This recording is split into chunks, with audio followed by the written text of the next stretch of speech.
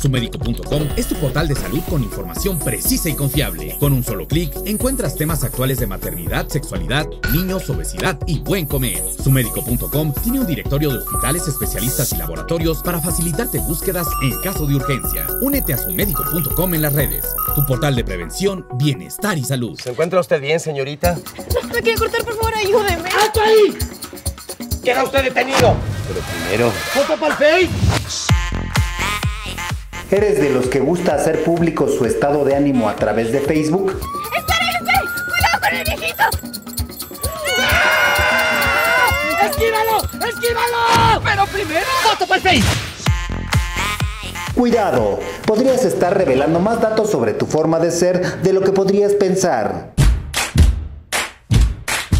Investigadores de la Universidad de Brunel en Londres analizaron el perfil de Facebook de más de 500 personas y encontraron que las personas que publican actualizaciones acerca de su pareja son propensas a tener baja autoestima, mientras que los que publican sus logros son considerados narcisistas.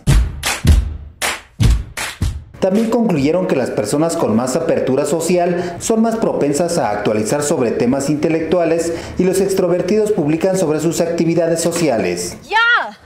¿No se dan cuenta de lo ridículos que nos vemos haciendo esto?